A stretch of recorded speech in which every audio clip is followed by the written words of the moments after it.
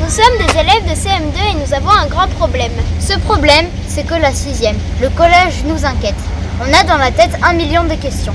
Et plutôt que de ruminer ces soucis, voire de les accentuer, pourquoi ne pas se mettre en route pour aller directement interroger les sixièmes?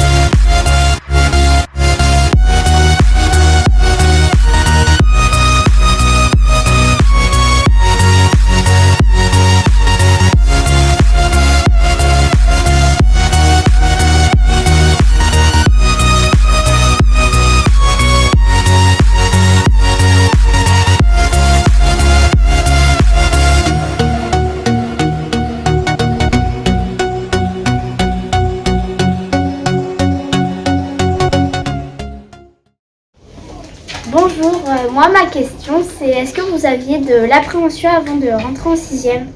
Bonjour, pour répondre à votre question, euh, bah oui, moi j'avais de l'appréhension, hein, surtout euh, pour les devoirs, mais aussi l'organisation.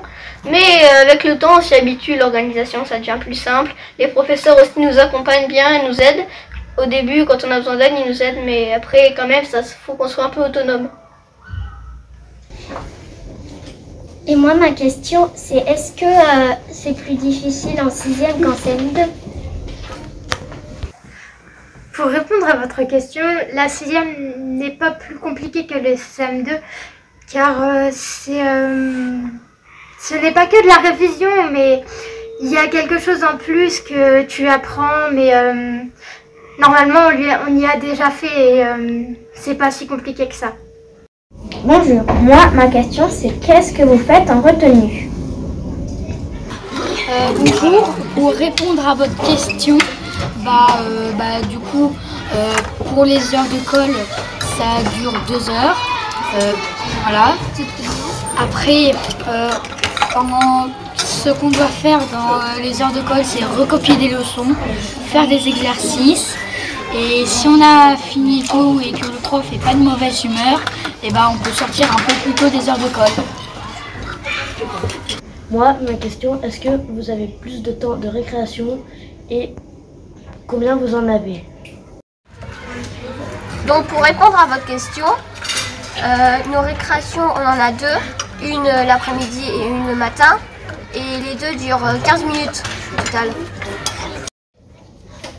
Bonjour, comment vous trouvez-vous votre année de sixième?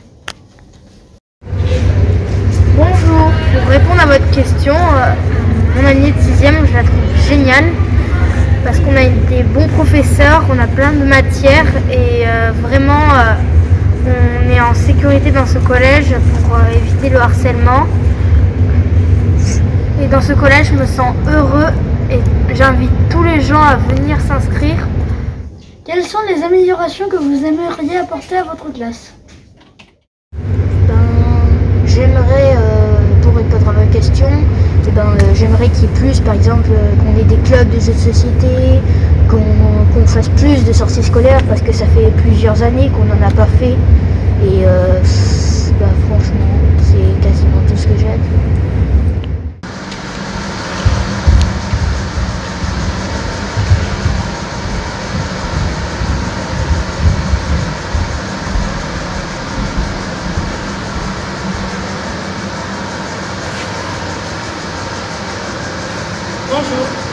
Début d'année, vous revoyez des notions de CM2 ou vous passez directement sur de nouvelles notions En sixième, nous revoyons les notions euh, de mathématiques et de français. Et euh, bien sûr, nous avons de nouvelles matières euh, comme euh, les SVT et la techno, etc. J'espère que j'ai répondu à votre question. Moi, ma question, c'est est-ce que vous avez plus de devoirs qu'en sixième qu'en CM2 Euh, en sixième, euh, on a dire, on a beaucoup plus de questions, de pardon, de, de devoirs que- qu'en qu'en CM2. Bah, je dirais parce que euh, on a beaucoup plus de, de profs déjà. Donc euh, ça rajoute des devoirs. Et aussi parce que euh, bah, on apprend plus de choses, du coup on doit plus les réviser. Bonjour, est-ce qu'on écrit plus en 6ème qu'en CM2 Bonjour, pour répondre à votre question, euh, on écrit plus en 6ème qu'en CM2 parce que en fait euh, en français on a plus de leçons à écrire et en histoire on a la géographie et l'histoire. Voilà.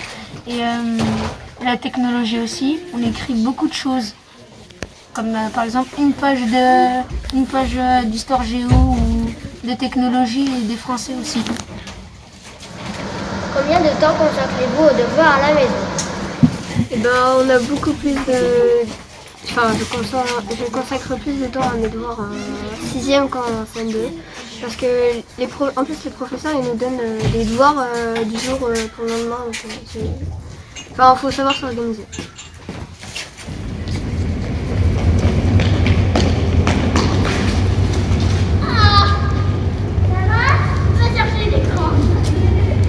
S'il vous plaît, je t'entends. D'accord. Ça va Bonjour tout le monde. Mais en fait, est-ce que la sixième, ça va plus vite Euh, pas, en vrai, pas tellement. Enfin, un petit peu, mais euh, pas trop quand même. Quand tu, quand tu, quand quelqu'un fait un exercice et qu'il n'a pas fini, quand il a fini, on peut prendre un livre et attendre que tout le monde aille fini. Oui. Et quand ça sonne, euh, la prof, elle, a- elle a- elle arrête tout et on continue pour la prochaine euh, heure de maths. En sixième, est-ce qu'il y a du soutien scolaire pour les élèves qui ont des difficultés ou des problèmes en classe? Nous avons bien de l'aide aux devoirs, rassurez-vous, et euh, les professeurs nous aident, mais ça s'appelle du PAP. Bonjour, s'il y a des poésies à mémoriser, sont-elles plus dures? Nous n'avons pas de poésie à apprendre par cœur. Est-ce que les évaluations sont plus longues qu'en CM2 Euh, avec certains profs, nous avons une heure entière pour faire les évaluations. Et tout à l'heure, nous avons eu euh, une évaluation de culture religieuse et on a eu 15 minutes euh, pour euh, y répondre. J'espère que j'ai répondu à votre question.